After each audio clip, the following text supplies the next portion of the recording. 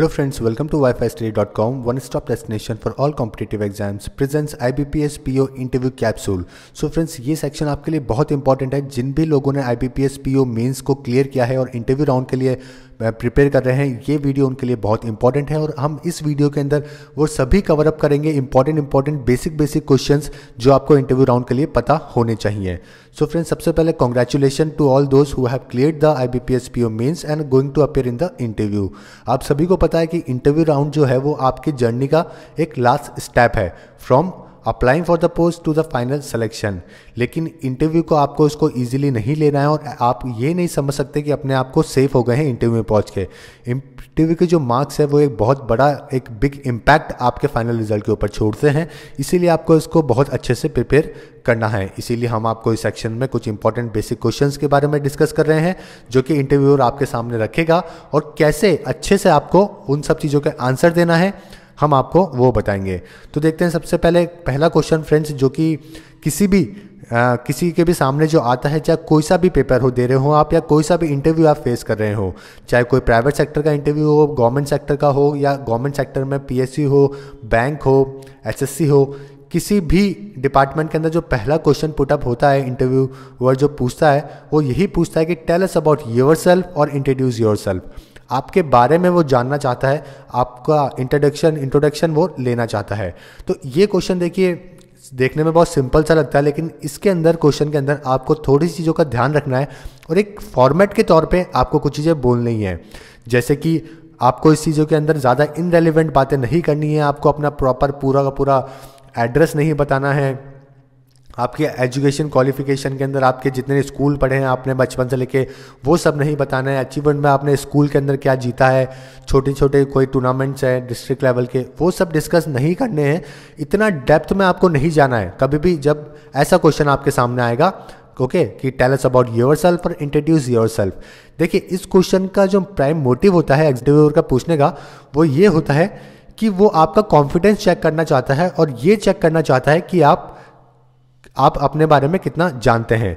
Okay, यही एक दो चीज़ें हैं जिससे वो जज कर लेता है कि आपका जो इंट्रोडक्शन आपने जो दिया है या फिर आप अपने बारे में कितना अच्छे से जानते हो। तो देखिए फ्रेंड्स इस सेक्शन के अंदर कभी भी जब आपसे पूछा जाएगा तो आपको सिर्फ़ बेसिकली चार ही चीज़ों के बारे में डिस्कशन करना है। जैसे कि आपका नाम, उसके बाद फैमिली बैकग्राउंड उसके बाद एजुकेशन क्वालिफिकेशन और उसके बाद अचीवमेंट तो ये चार सेक्शन है जिसके ऊपर आपको फोकस करना है। इसके अलावा आपको कुछ ज़्यादा नहीं बोलना है। ओके ज़्यादा इनरेलीवेंट बोलने से आपके जो मार्क्स है वो डिडक्ट हो सकते हैं और वो ये समझ जाएँगे कि आप अपने बारे में कुछ ज़्यादा नहीं जानते या फिर आपको अपने आप को इंट्रोड्यूस करना ही नहीं आता है। इसीलिए सिर्फ़ जो चार सेक्शन में आपके बारे में जो आपके सामने बता रहा हूँ कि आपका नाम फैमिली बैकग्राउंड एजुकेशन क्वालिफिकेशन और अचीवमेंट इन चार चीज़ों के बारे में डिस्कशन करना है। ओके और ये सारी की सारी चीज़ें आपको ऐसे नहीं बोलनी है जैसे कि आपने रटी हुई हैं या फिर आप रीडिंग कर रहे हो। आप अपना थोड़ा टाइम लीजिए जहाँ आपको ब्रेक देना है, वहाँ पर आप आराम से ब्रेक दीजिए और एक अच्छा आई कांटेक्ट रखिए इंटरव्यू के सामने। ये सब अपनी बातें रखिए। जैसे कि अपन एक एग्ज़ाम्पल लेते हैं, कोई विपिन यादव है जो कि एग्ज़ाम जो कि इंटरव्यू के सामने बैठे हैं और अपना, अपने आप को इंट्रोड्यूस कर रहे हैं। तो सबसे पहले अपन उनके बारे में थोड़ा थोड़ा करके जानेंगे, जैसे कि उनका नाम और उनका फैमिली बैकग्राउंड ओके देखते हैं।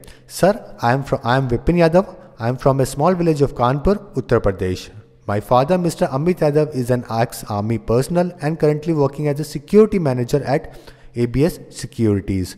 My mother, Miss Rina Yadav, is a homemaker. I have two siblings, an elder sister and a younger brother. देखिए इतना ही हो गया इस सेक्शन के अंदर आपके दोनों चीज़ें ऐड ऑन हो गई है जैसे कि आपका खुद का नाम भी आ गया है और साथ में आपकी फैमिली का बैकग्राउंड भी आ गया है कि आपके फादर क्या करते हैं? एक आर्मी एक्स आर्मी पर्सनल है और साथ में अभी राइट ना वो सिक्योरिटी मैनेजर हैं। आपकी मदर क्या करती है और आपके भाई बहन के बारे में आपने बता दिया। अब इसके ज़्यादा आपको डिटेल्स में नहीं जाना है कि आपके भाई बहन क्या कर रहे हैं, कौन से कॉलेज में पढ़ रहे हैं, इतना नहीं बताना है। Okay this is all from the first two section अब मूव करते हैं अपन थर्ड सेक्शन की तरफ़। मूविंग टू द अकेडमिक्स कि अकेडमिक्स के अंदर बारे में आपने को बताना है। देखिए एकेडमिक्स के अंदर आपको अपने लास्ट कॉलेज और लास्ट स्कूल इन दो ही चीज़ों के बारे में बात करनी है। जैसे कि, I have finished my graduation from DAV College Kanpur with 65.40% and I and I have finished my schooling from G D Goenka public school Kanpur. ये देखिए, दो चीज़ों के अंदर आपका कॉलेज और स्कूल दोनों ही खत्म हो गया है। जैसे कि अगर आप, मान लीजिए कोई इंजीनियरिंग डिग्री है आपके पास में इंजीनियरिंग स्टूडेंट रहे हैं तो आप इस ग्रेजुएशन की जगह इंजीनियरिंग यूज़ कर सकते हैं। और उसके आगे फिर आप जो भी ब्रांच है वो ऐड ऑन कर सकते हैं। जैसे कि I have finish my graduation जैसे कि I I have finished my engineering in civil from D A V college Kanpur with sixty five point four zero percent and I have finished my schooling from G D Goenka public school Kanpur तो इसके बाद में आप अपना school add on कर सकते हैं। देखिए, यहाँ पे अपना अकेडमिक्स खत्म हो जाता है।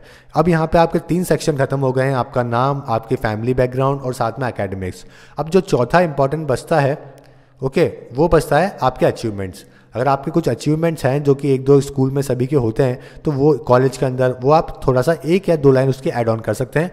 जैसे कि I was a part of my inter college football team also I have participated in the national level science olympiad and finished runner up तो आपके जो अचीवमेंट थे, वो दो ही लाइन में उन्होंने डिस्क्राइब कर दिए.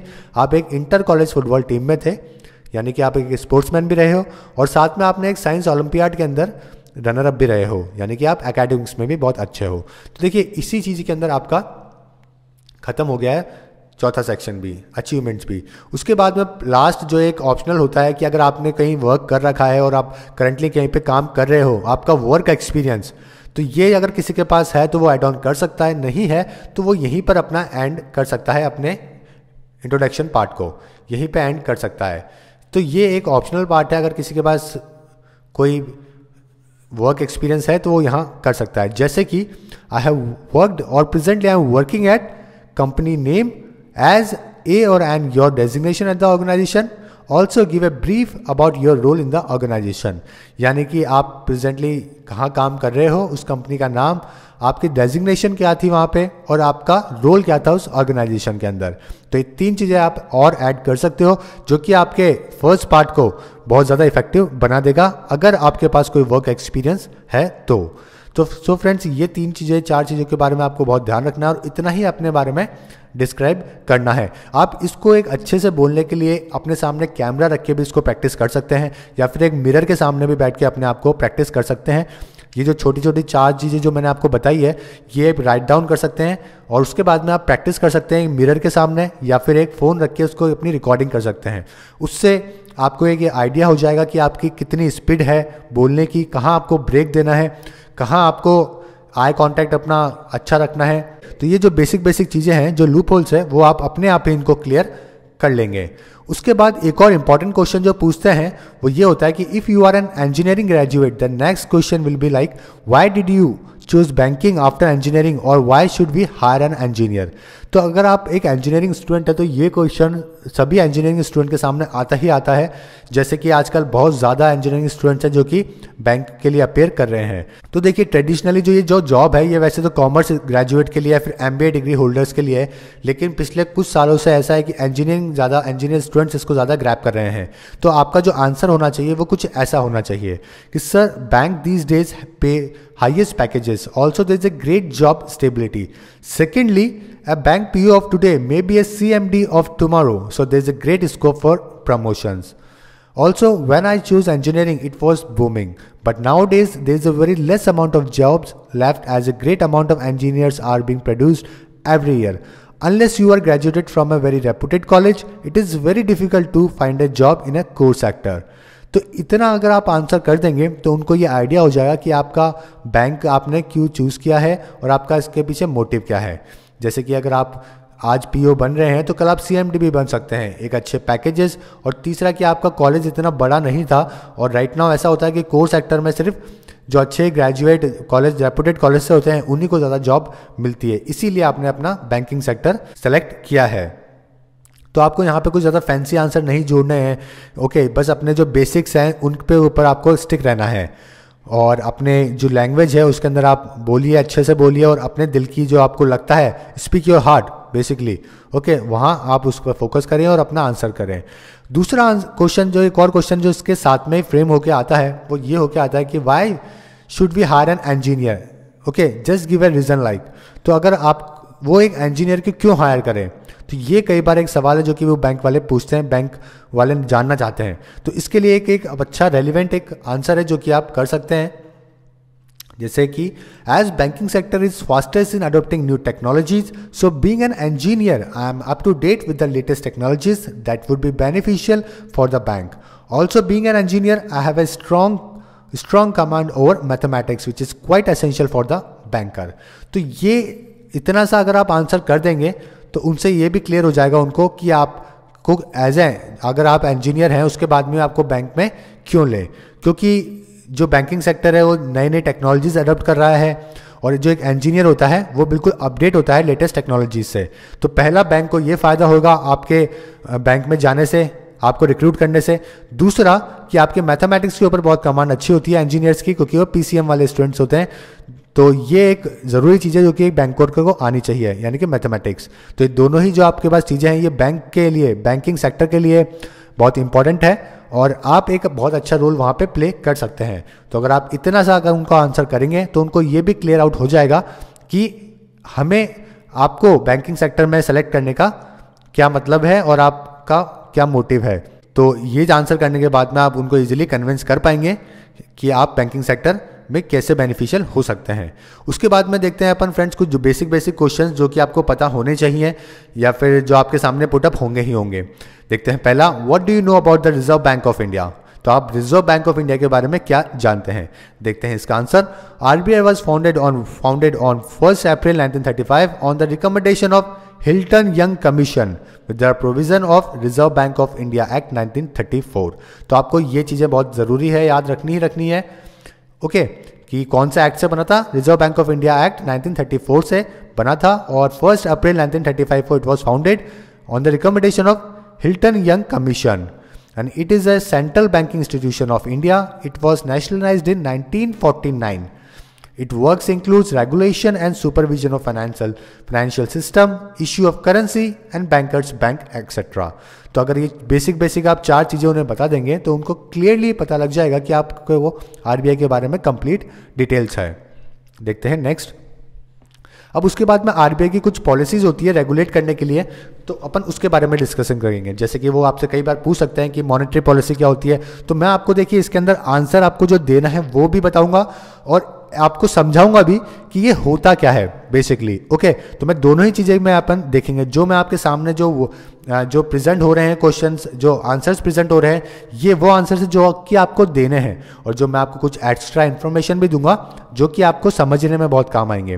देखिए एमपीआई यानी कि मॉनिटरी पॉलिसी इंस्ट्रूमेंट्स देखिए मॉनिटरी पॉलिसी ऑफ़ इंडिया है ना, ये formulated and executed by the RBI इसको आरबीआई ने फॉर्मुलेटेड किया और ये एग्जीक्यूट कौन करती है? RBI to achieve specific objectives to achieve specific objectives okay कुछ स्पेसिफिक ऑब्जेक्टिव्स है, वो अचीव करने के लिए इसको फ्रेम करा गया है। वो क्या है इस, जैसे कि पहला प्राइस स्टेबिलिटी प्राइस में हमेशा स्टेबिलिटी होनी चाहिए।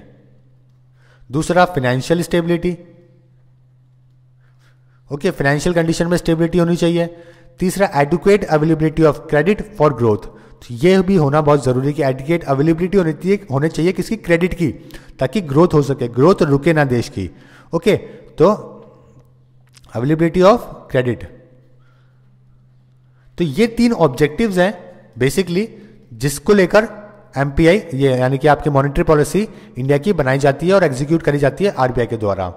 ओके okay, अगर आप आरबीआई की ऑफिशियल साइट के ऊपर मॉनेटरी पॉलिसी देखेंगे तो वो मॉनेटरी पॉलिसी क्या बोलती है कि monetary policy refers to the use of instruments under the control of central bank to regulate the availability cost and use of money and credit यानी कि रेफ क्या है? मॉनेटरी पॉलिसी पॉलिसी क्या है? Refer to the use of instruments ये कुछ instrument use करती है जो कि किसके कंट्रोल में होते हैं? सेंट्रल बैंक के कंट्रोल में होते हैं टू रेगुलेट द अवेलेबिलिटी आपके पास अवेलेबिलिटी हो कॉस्ट हो और use of money and credit तो इन सभी चीज़ों का चीज़ें आपके पास में होगी तो ये क्या होगा? एक अच्छी मॉनिटरी पॉलिसी बनेगी। ओके okay, अब जो आपका आंसर है जो आपको अगर शॉर्टली देना है जब इंटरव्यू में आपसे पूछा जाता है वो देखिए आप ऐसे बोल सकते हैं कि the prime objective the primary objective of the monetary policy is to maintain price stability while keeping in mind the objective of growth यानी कि दो पॉइंट्स आपके सीधे सीधे सामने यहाँ पे आ गए हैं। एक तो प्राइस स्टेबिलिटी होनी चाहिए और साथ में एक आपकी ग्रोथ इंक्रीज होनी चाहिए। Objective of keeping in mind the objective of growth price stability is necessary precondition to sustainable growth तो प्राइस स्टेबिलिटी क्या है? नेसेसरी प्री कंडीशन है फॉर सस्टेनेबल ग्रोथ अब साथ में जैसे कुछ मॉनेटरी पॉलिसी इंस्ट्रूमेंट्स है, उसके नाम भी आप बोल सकते हैं। जैसे कि repo rate reverse repo rate M S F C R R S L R L A F open market operation bank rate तो ये सारी चीज़ें भी आप यहाँ पे बोल सकते हैं। ओके तो ये सब भी यहाँ पे आप ऐड करेंगे तो आपका एक जो आंसर है वो बहुत इफ़ेक्टिव बन जाएगा। अब देखते हैं कि मॉनेटरी पॉलिसी जब ये बनती है तो ये बनाता कौन है? तो इसके लिए एक मॉनेटरी पॉलिसी कमेटी बनाई जाती है एमपीसी इसको बोलते हैं एमपीसी अगर आपसे थोड़ा डेप्थ में अगर वो पूछने लगे जैसे कि मुझे आपने मॉनेटरी पॉलिसी बताया इसकी कमेटी के बारे में बताइए, इसके डिपार्टमेंट के बारे में बताइए तो ये भी चीज़ें आपको पता होनी चाहिए। तो इसका प्रोसेस क्या है? इसका मॉनेटरी पॉलिसी का प्रोसेस ये है कि एक कमेटी सेटअप करी जाती है constituted by the central government under section under section 45 Z B okay under section 45 Z B तो एक ही क्या है? जो जो कमिटी है it is constituted by the central government under section 45 B of the amended RBI act 1934 और determine the policy interest rate required to achieve inflation target तो ये डिटरमाइन क्या करता है?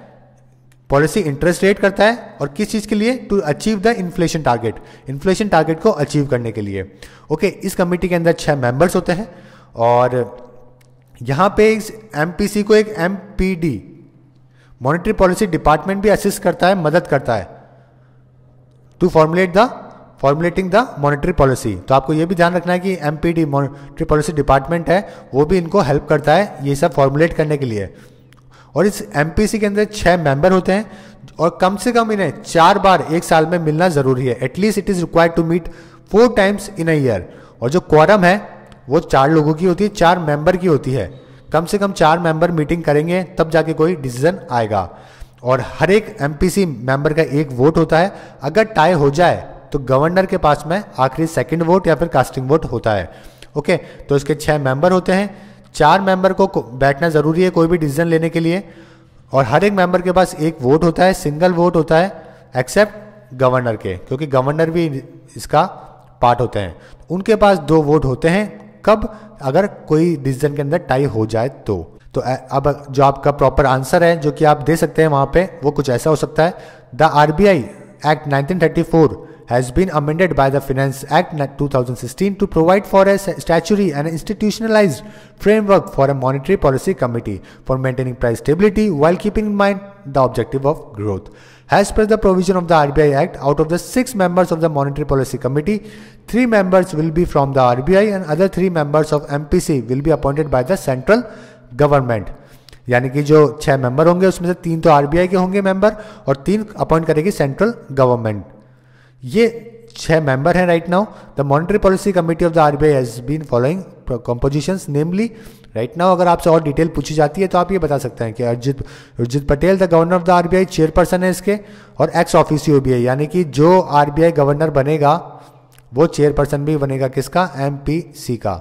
ओके okay, इसका मतलब होता है एक्स ऑफिसियो ऑटोमेटिकली जो गवर्नर बनेगा आरबीआई का, वो इसका भी चेयरपर्सन बन जाएगा। Second deputy governor of the bank in charge of the monetary policy member होते हैं ये एक। उसके बाद one officer of the bank to be nominated by the central board उसके बाद श्री चेतन घाटे प्रोफेसर हैं अभी ये इंडियन स्टैटिकल इंस्टीट्यूट में आईएसआई इंस्टीट्यूट के अंदर। ये तीन मेंबर हैं जो कि गवर्नमेंट के द्वारा अपॉइंट करे गए हैं। दूसरे है प्रोफेसर पामी दुआ, ये डायरेक्टर हैं दिल्ली स्कूल ऑफ़ इकोनॉमिक्स के। और डॉक्टर रविंद्र एच ढोलकिया, जो कि professor Indian institute of management I I M Ahmedabad के अंदर। तो ये आपके छह मेंबर्स हैं, जो कि एमपीसी के करंटली को इसको कमिटी के मेंबर्स हैं। सो so फ्रेंड्स दूसरा देखते हैं सेक्शन एक और प्रायोरिटी सेक्टर लैंडिंग क्या होती है? अभी तक मैंने आपको क्या बताया कि मॉनिटरी पॉलिसी आरबीआई क्या होता है, उसके बाद में मॉनिटरी पॉलिसी और उसके बाद में मॉनिटरी पॉलिसी कमेटी के बारे में। ओके अब देखते हैं कुछ बाकी चीज़ें। इसके इंस्ट्रूमेंट्स के बारे में भी अपन पढ़ेंगे लेकिन इसके बाद में। According to the priority sector norms schedule commercial bank have to give 40 percent of their loans to the identified priority sectors in accordance with the RBI regulations priority sector Sector consists agriculture, housing, MSME, education, export credit, social infrastructure and export credit, etc. Okay तो यानी कि अगर आपसे पूछा जाता है कि priority sector lending क्या होता है तो ये आप बता सकते हैं कि कमर्शियल बैंक को 40 परसेंट अपना लोन जो है, वो कुछ प्रायोरिटी सेक्टर्स को दिया जाता है। देखिए प्रायोरिटी प्रायोरिटी सेक्टर पहले ही लिखा हुआ है प्रायोरिटी सेक्टर लैंडिंग यानी कि कुछ प्रायोरिटी है 40 परसेंट कमर्शियल बैंक को लोन जो है, वो इन इन सेक्टर को देना पड़ेगा जो कि प्रायोरिटी है। जैसे कि एजुकेशन के अंदर एम में हाउसिंग में, ओके एक्सपोर्ट क्रेडिट के अंदर सोशल इंफ्रास्ट्रक्चर के लिए तो इन सभी को 40 परसेंट देना ज़रूरी है। अब देखते हैं अपने इंस्ट्रूमेंट्स जो मॉनेटरी पॉलिसी के मैंने आपके आपको कुछ इंस्ट्रूमेंट्स बताए थे, जिसको लेके इन इंस्ट्रूमेंट्स के साथ में ही मॉनेटरी पॉलिसी का रेगुलेशन किया जाता है। ओके आरबीआई इसको रेगुलेट करता है। अब उसमें पहला जो है वो है रेपो रेट रेपो रेट क्या है एक? Repo rate also known as the benchmark interest rate is the rate at which RBI lends money to the bank for a short term when the repo rate increases borrowing from RBI becomes more expensive. तो repo rate क्या है? जो rate से RBI loan देता है बाकी bank को उनको अपन बोलते हैं रेपो रेट ओके जैसे रेपो रेट इंक्रीज हो जाएगी आरबीआई से पैसा लेना मुश्किल हो जाएगा और एक्सपेंसिव हो जाएगा. ओके okay, एक्सपेंसिव बोल सकते हैं अपन क्योंकि वो रेट बढ़ा देगा तो बैंक को ज़्यादा इंटरेस्ट देना पड़ेगा.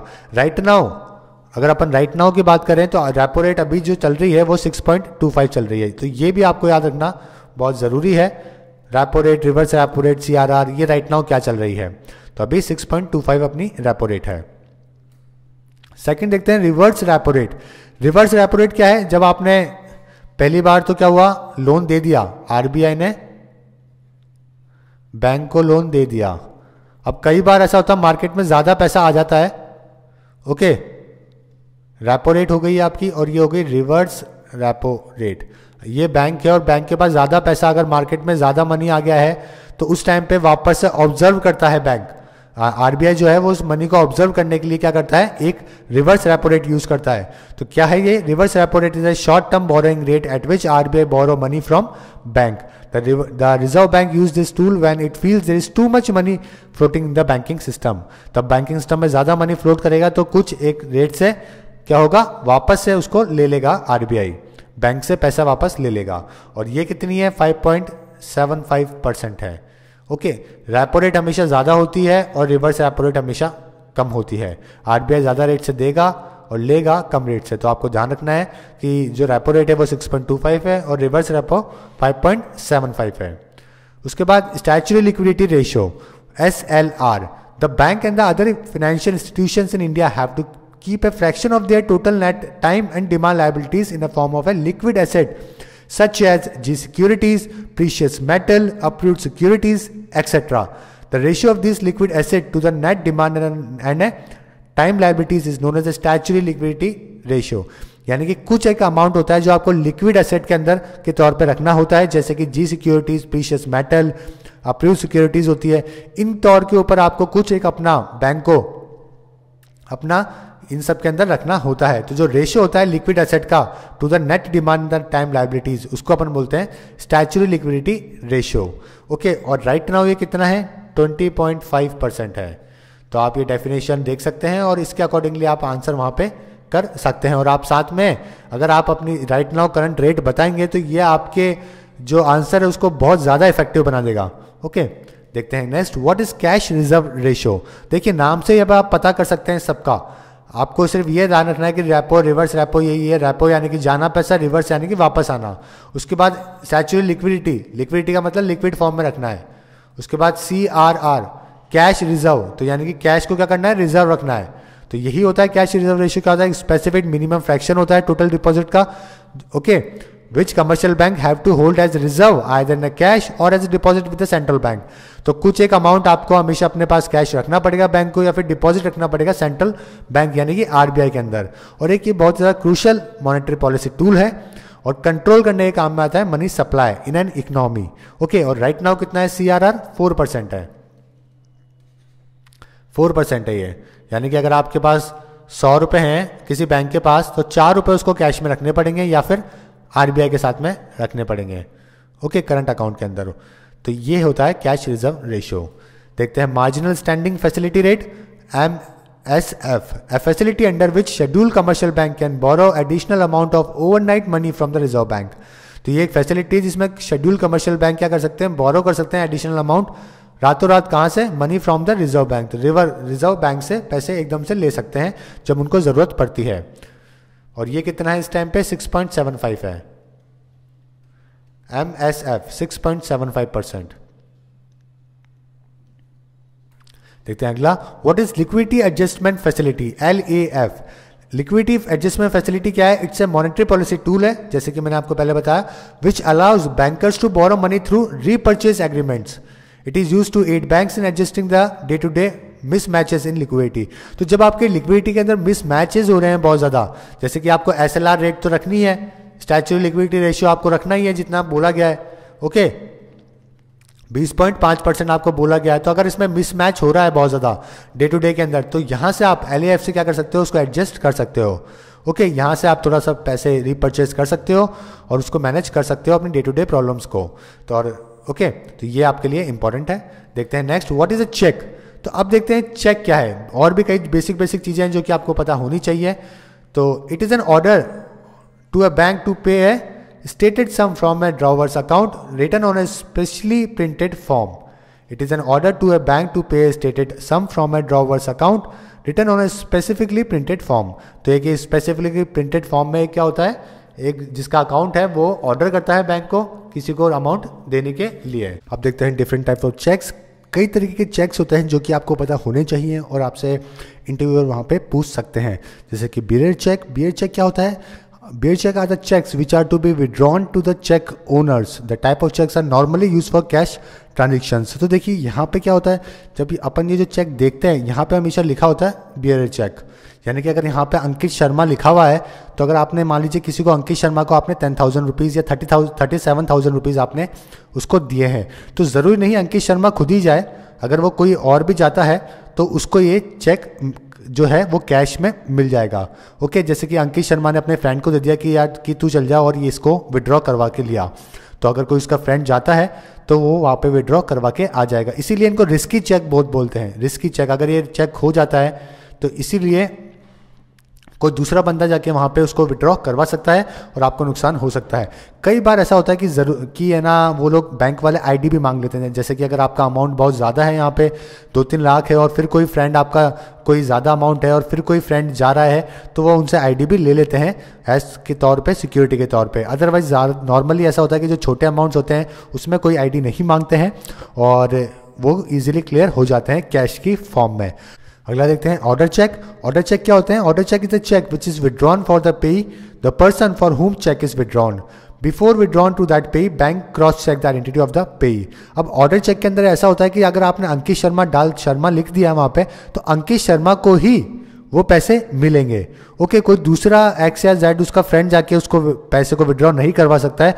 अनटिन और अनलेस जब अंकित शर्मा पीछे उसको ट्रांसफ़र करे या पीछे बैंक चेक के लिखे कि हाँ मैं ऑर्डर देता हूँ या ट्रांसफ़र करता हूँ कि ये एक्स बंदा मेरे जगह पे पैसे को विड्रॉ करवा सकता है। अगर ऐसा नहीं लिखता है तो जिसके नाम आपने चेक लिखा है सिर्फ़ वही उस पैसे को विड्रॉ करवा सकता है। इसीलिए यहाँ पे बियरर के बजाय यहाँ पे ऑर्डर लिखा होता है ऑर्डर चेक के अंदर। तो आपको इतना सा ध्यान रखना है कि बियर चेक के अंदर यहाँ पे बियर होता है ऑर्डर चेक में ऑर्डर होता है। बियर चेक में कोई भी जाके विड्रॉ करवा सकता है और ऑर्डर चेक के अंदर जिसका आपने नाम लिखा है, वही जाके उसको विड्रॉ करवाता है। और अगर वो चाहे तो पीछे चेक के पीछे ट्रांसफ़र लिख के और किसी का नाम लिख के उसको भी परमिशन दे सकता है। देखते हैं अगला cross cheque all that type of cheques two parallel lines made on the upper part of the cheque then that cheque form to cross cheque अगर दो लाइन जैसे कि यहाँ पे बनी हुई है ओके okay, जैसे कि यहाँ पे इसके इस साइड के ऊपर लेफ़्ट हैंड साइड के ऊपर आपके अभी दो ऊपर की तरफ़ लाइन ड्रॉ होती है पैरेलल तो अपन को बोलते हैं cross check. This type of check payment does not formed in cash while the payment of that type of check transferred to the pay account and the normal person account who recommended by the holder on the cheque तो इसके अंदर जो problem है cross check के अंदर ये हो जाती है कि आपको कैश में ट्रांजेक्शन नहीं होता है आप जो डिफरेंस है वो यही है चाहे ऑर्डर चेक हो चाहे बियर चेक हो कैसा भी हो लेकिन अगर आपने दो लाइंस पैरेलल बना दी है तो वो कैश में ट्रांजेक्शन यहाँ पे नहीं हो पाएगा सिर्फ़ अकाउंट में ही ट्रांसफ़र हो पाएगा जैसे कि अगर अंकित शर्मा है तो अंकित शर्मा अपने अकाउंट में ही ट्रांसफ़र कर सकता है। ये टेन थाउज़ेंड रुपीज़ जो कि उसको मिले हैं। ओके तो इसको कैश में ट्रांजेक्शन वो नहीं करवा पाता है। देखिए क्रॉस चेक और अकाउंट पे चेक एक जैसे ही चेक है। अगर आपने इस दो लाइन के बीच में अकाउंट लिख दिया अकाउंट पे ही लिख दिया तो वो अकाउंट पे ही चेक बन जाते हैं। लेकिन फ़र्क वही होता है, कोई ज़्यादा फ़र्क नहीं है, दोनों सेम ही है। बस दो पैरल लाइन्स का फ़र्क की जो चीज़ें हैं, जो कि होने से क्या हो जाता है कैश का ट्रांजेक्शन बंद हो जाता है और आपको क्या होता है आपके डायरेक्टली अकाउंट में ही वो ट्रांसफ़र होते हैं। देखते हैं अगले। Company cross cheque when two parallel line with cross made on the cheque and the word company written between these two lines, then that type of check are called company or cross check. Okay वही बात जो कि मैंने अभी आपको पहले बताई कि अगर इस दो पैरेलल लाइन के अंदर कुछ नहीं लिखा तो वो क्रॉस चेक अकाउंट पे ही लिख दिया तो वो अकाउंट पे ही चेक हो गए। और कंपनी क्रॉस चेक लिखने के लिए आपने उसके ऊपर कंपनी लिख दिया, दो पैरेलल लाइन्स के बीच में तो वो कंपनी हो गए। ओके सिर्फ़ ये इतना दिखाता है कि वो कंपनी के अकाउंट में जाएँगे, यहाँ पे अकाउंट के पे के अकाउंट में जाएँगे, और अगर नहीं लगाएँगे अगर आप दो पैरेलल लाइन्स तो वो भी डायरेक्टली जिसका आपने नाम लिखा है। ओके उसी के अकाउंट में वो ट्रांसफ़र होंगे। उसके बाद में होते हैं स्टेल चेक ये देखिए, ये वो चेक होते हैं जो कि आप विड्रॉ नहीं करवा पाते हो, क्योंकि आपको वो जो चेक इशू हुआ था, उसकी डेट निकल गई है।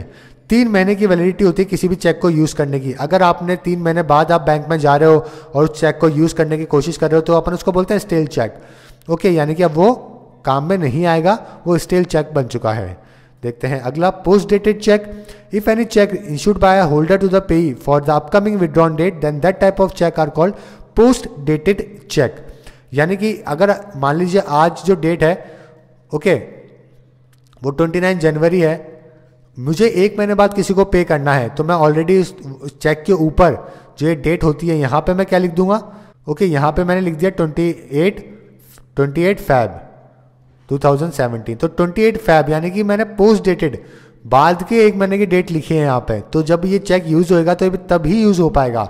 ऐसा नहीं कि आज की डेट है तो कल जाके ये इसको बैंक में जाके दे देंगे कि मेरा अकाउंट मेरे को पैसे चाहिए। ऐसा नहीं हो पाएगा क्योंकि आपने पोस्ट डेटेड चेक दिया है। आपने एक महीने बाद की तारीख वहाँ पर लिखी है। ओके और कई बार ऐसा होता है कि लोग चेक के नीचे भी अब डेट लिख देते हैं।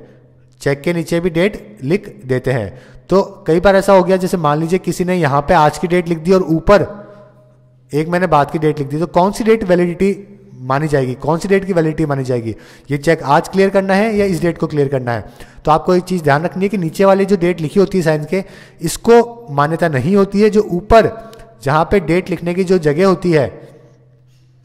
ओके okay, वहाँ पे अगर आपने जो डेट मेंशन करी है उसी को कंसिडर किया जाता है। अगर साइन के नीचे जो आप डेट लिखते हैं, उसको कंसिडर नहीं किया जाता है। उसके बाद है traveller cheque it is an instrument issued by bank for remittance of money from one place to another तो ट्रैवलर चेक उन ट्रैवलर लोगों के लिए होते हैं जो कि ट्रैवल करते हैं, और वहाँ पे कोई भी चेक जो आपने बनवाया है, ये दुनिया में कहीं पर भी काम आता है, दुनिया में कहीं पर भी इसको काम में ले सकते हो।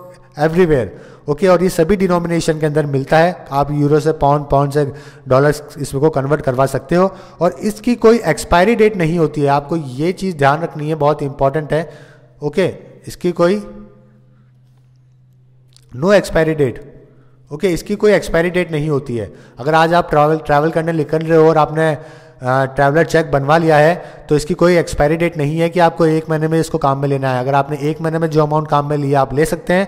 जब अगली बार ट्रैवल करने जा रहे हैं, वो बाकी का अमाउंट आप तब काम में ले सकते हैं। और आपको नहीं लेना है तो आप बैंक जाके थोड़ा सा नॉमिनल अमाउंट कटवा के इसको पैसे वापस भी ले सकते हैं। इसीलिए इसको बोलते हैं ट्रैवलर चेक इसके अलावा भी कुछ चेक होते हैं फ्रेंड जो कि मैं आपको बताना चाहूँगा। जैसे कि एक होता है बैंकर चेक एक होता है बैंकर्स इसके अंदर आप ऑलरेडी कुछ अमाउंट अपने बैंक के अंदर रखते हो और ऑर्डर करते हो बैंक को कि उस किसी एक्स आदमी को आपको पे करना है। ओके तो it is issued by the bank on behalf of a customer to specified person within a city और इसकी भी वैलिडिटी तीन महीने की होती है। और इसको आप रीवैलिडेटेड भी करवा सकते हो, लेकिन एक कोई लीगल फॉर्मेलिटीज़ होती है, उसके बाद में ही ये करवा पाओगे। तो ये क्वेश्चन भी इंपॉर्टेंट है कि जो बैंकर चेक है, वो वापस से रीवैलिडेटेड हो सकता है या नहीं हो सकता है। तो ये ज़रूर हो सकता है। लेकिन बाकी जो चेक जो मैंने आपको पहले बताया था, जिनकी वैलिडिटी तीन महीने थी, वो नहीं हो सकते। बैंकर्स चेक हो सकता है। ओके प्री पेमेंट इसमें आप करके रखते हो, पहले से पेमेंट करके रखते हो और आप इशू करते हो बैंकों की आपको उस किसी एक्स बंदे को पेमेंट करना है तो बैंक ये चेक इशू करता है। इसके अलावा भी एक दो चेक और होते हैं, जैसे कि गिफ्ट चेक होता है। जैसे कि आपने देखा होगा, जब क्रिकेट मैच के अंदर किसी को, मैन ऑफ़ द मैच मिलता है तो मैंने तो मैच के लिए बहुत बड़ा चेक दिया जाता है। तो वो गिफ्ट चेक होते हैं, कुछ एक्स्ट्रा पैसे लेता है बैंक और उसके बाद में वो चेक बना के दे देता है। जैसे कि किसी बर्थडे गिफ्ट करना है वेडिंग गिफ्ट करना है ऑनर गिफ्ट करना है, वहाँ पे इन सबको काम में लिया जाता है। ओके वैसे ही एक चेक और होते हैं। म्यूटिलेट चेक म्यूटिलेटेड चेक ये वो चेक होते हैं जो चेक दो से ज़्यादा बार फट जाते हैं। जैसे मान लें यहाँ से फट गया, यहाँ से फट गया तो ये किसी के काम के नहीं होते हैं। अगर it is torn in to the two or more pieces then that cheque is known is the mutilated cheque okay तो वो चेक किसी काम का नहीं होता, अगर आप बैंक में जाके देंगे तो वो काम में नहीं आएगा। तो ये सारे चेक थे फ्रेंड जो कि आपको ध्यान रखने हैं। कुछ और चीज़ों के बारे में डिस्कस करते हैं, जैसे कि what is a treasury bill तो ट्रेजरी बिल क्या है? ये टी बिल के नाम से जाना जाता है, इसको आरबीआई इशू करता है backed by the government securities जो गवर्नमेंट की जो सिक्योरिटीज है, उसके बिहाफ पे आरबीआई इसको इशू करता है। ताकि जो गवर्नमेंट सेंट्रल गवर्नमेंट के जो शॉर्ट टर्म की जो मनी की रिक्वायरमेंट है लिक्विडिटी की रिक्वायरमेंट है, उसको पूरा कर सके। Okay R B I issue treasury bills on the behalf of a central government to meet the short term liquidity needs of central government currently the government of India issue three types of treasury bills through auction for ninety one days one eighty two days या फिर three sixty four days minimum इसके अंदर पच्चीस हज़ार है, और या फिर इस पच्चीस हज़ार के मल्टीपल हो सकते हैं ट्रेजरी बिल्स ओके तो आपको ये ध्यान रखना है। नेक्स्ट है कमर्शियल पेपर सीपी क्या होता है? CP papers are issue by the private organisation or financial institution having a strong credit rating to meet short term liquidity requirement तो जो स्ट्रॉन्ग कंपनीज़ है, बढ़िया प्राइवेट ऑर्गेनाइजेशन इनके क्रेडिट स्कोर बहुत अच्छे हैं, जिनके बैंक से बहुत अच्छे संबंध है, अच्छे, काफ़ी अच्छा हमेशा उनका स्कोर रहता है। हमेशा जब आप बैंक से अपना जब अपना अकाउंट ओपन करवाते हो लोन लेते हो तो हमेशा आपका क्रेडिट स्कोर देखा जाता है कि आपने कितनी बार अपने आपके जो चेक है वो बाउंस हुए हैं हुए हैं कि नहीं हुए हैं, आपने अपनी इंस्टॉलमेंट पे करी है, नहीं करी है, उसके आधार पर आपके क्रेडिट स्कोर बनाए जाते हैं।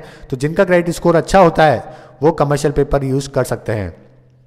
ओके तो commercial paper can be issued for the for the maturities between a minimum seven days and a maximum up to one year from a date of issue and can be issued not less than five lakh and multiple thereafter तो पाँच लाख रुपए कम से कम या फिर उसके multiple में ये issue होते हैं। अगर एकदम से किसी कंपनी को ऑर्गेनाइजेशन को पैसे की ज़रूरत पड़ गई है तो वो अपने अच्छे क्रेडिट स्कोर के दम पे कमर्शियल पेपर इशू करवा सकते हैं। What is certificate of deposit तो सर्टिफिकेट ऑफ़ डिपॉजिट क्या है कि मनी मार्केट इंस्ट्रूमेंट है, जो कि इशू किए जाते हैं शेड्यूल कमर्शियल बैंक के द्वारा, या फिर ऑल इंडिया फाइनेंशियल इंस्टीट्यूशन के द्वारा।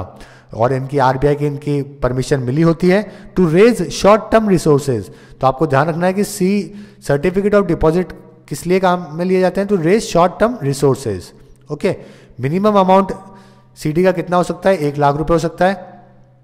सिंगल सब्सक्राइबर से ये इतना ही ले सकते हैं और मल्टीपल में भी कितना भी फिर बाद में ले सकते हैं, लेकिन मिनिमम वन लाख होता है। The maturity period of the C D issued by the bank should not be less than seven days and not more than one year from the date of issue कम से कम सात दिन और ज़्यादा से ज़्यादा एक साल। ये इसका पीरियड होता है। उसके बाद मुद्रा बैंक क्या होते हैं? देखिए मुद्रा बैंक की जो फुल फॉर्म होती है वो होती है micro unit development and refinance agency micro unit इसके नाम में ही इसका काम छिपा हुआ है। माइक्रो छोटी यूनिट को डेवलपमेंट के लिए ओके okay, और रीफाइनेंस एजेंसी उनको फाइनेंस करने के लिए एक एजेंसी बनाई गई है ओके okay? तो इसको बोलते हैं अपन मुद्रा बैंक। मुद्रा bank is being set up through a statutory enactment and will be responsible for developing and refinancing through प्रधानमंत्री मुद्रा योजना तो प्रधानमंत्री मुद्रा योजना के तौर पे इसको स्टार्ट किया गया और इसके तहत ये फाइनेंस जो फैसिलिटी है वो प्रोवाइड करती है। ये एक सब्सिडरी है सिडबी की small industrial development bank of it will later be converted into a full flash bank through an act of parliament Mudra bank is a public sector financial institution in India it provide loan at low rates to the small entrepreneurs तो आज एक small entrepreneur हो जो आपको पैसों की ज़रूरत है तो आप मुद्रा बैंक से छोटा मोटा लोन ले सकते हो। तीन कैटेगरीज होती है इसके अंदर जहाँ पे लोन आपको मिलता है। ओके दो हज़ार करोड़ रुपए, बीस हज़ार करोड़ रुपए इसके लिए इनिशियली सेटअप करे गए थे। एंड क्रेडिट गारंटी भी यहाँ पे दी गई है कितनी? तीन हज़ार करोड़ की। तो तीन स्टेज में ये लोन प्रोवाइड किया जाता है। पहला शिशु, जहाँ पे पचास हज़ार रुपये तक के आपको लोन दिया जाता है। उसके बाद अगर आप वो उसमें अच्छा करते हो, उस लोन में आप टाइम पे इंस्टॉलमेंट देते हो, उसके बाद किशोर योजना है, जिसमें पाँच लाख तक है और तरुण योजना में दस लाख रुपये तक है। इस तीन कैटेगरी में आपको मुद्रा लोन मिलता है। इसके बाद देखते हैं एनईएफटी क्या है। ये एक nation wide fund transfer system है which facilitates fund transfer from any bank branch to any other bank branch. एक बैंक ब्रांच से दूसरे बैंक ब्रांच में फंड ट्रांसफ़र करने के लिए एक नेशनलाइज क्या है? फंड ट्रांसफ़र सिस्टम है। ओके डिफरेंस क्या है? एनईएफटी और आरटीजीएस के बीच में, जो कि मेजरली कई बार पूछा जाता है। तो एनईएफटी क्या है? सेटलमेंट हैपन क्या होता है इसके अंदर? एक बैचेस के अंदर होता है on a net settlement basis RTGS में क्या होता है? रियल टाइम और ग्रॉस सेटलमेंट होता है। ओके एनईएफटी में आपको थोड़ा टाइम लगता है। बैचेस के अंदर एकदम से इकट्ठा करके उनको डिस्पैच किया जाता है।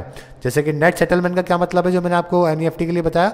The transaction pertaining to the particular bank branches are kept and hold and accumulated and then process together in a batch with a net amount which would either be incoming or outgoing transfer यानी कि एकदम से उनको इकट्ठा किया जाता है, पहले अकुमुलेट किया जाता है, उसके बाद में उनको ट्रांसफ़र किया जाता है।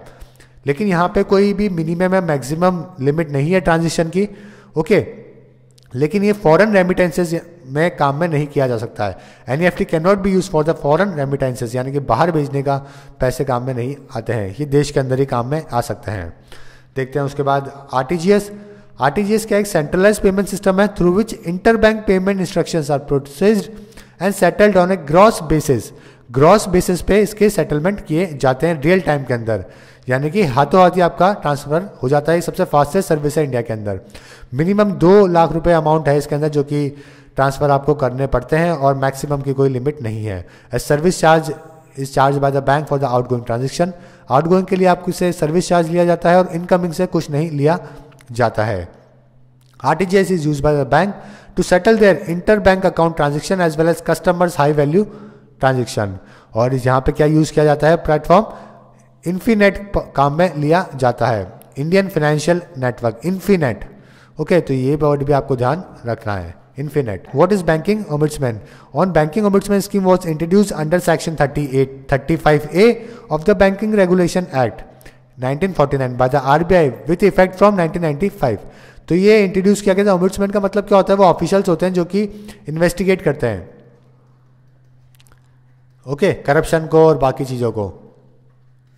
वो होते हैं अम्यूट्समैन पर्सन तो बैंकिंग अम्बुड्समैन स्कीम कब लॉन्च की गई थी? 35 ए सेक्शन के तहत बैंकिंग रेगुलेशन एक्ट 1949 में के तहत इसको स्कीम को इंट्रोड्यूस किया गया था। और पहली बार इंडिया में किया गया था 1995 के अंदर और रिवाइज किया गया 2002 के अंदर। 2006 के अंदर करंटली जो स्कीम है, जो इंट्रोड्यूस करी गई थी, वो 2006 की है। और यहाँ पे अपॉइंटमेंट जो किए जाते हैं, वो आरबीआई के द्वारा किए जाते हैं। स्मॉल फाइनेंस बैंक क्या है? They cater to deposit and loans particular deposit and loans particular in a small areas यानी कि स्मॉल एरिया से लोन लेते हैं और पैसा जमा करते हैं। और यहाँ के जो ज़्यादातर जो इंक्लूज कर, जो जिनके लिए खोला गया है, ये खोला गया है स्मॉल फार्मर्स के लिए एम एस एम के लिए अन ऑर्गेनाइज सेक्टर के लिए। और यहाँ पे एम एफ़ आई यानी माइक्रो फाइनेंस इंस्टीट्यूट और N B F C non banking financial companies भी कन्वर्ट करवा सकती है स्मॉल बैंक में अगर उनको लाइसेंस अलोकेट हो जाए तो।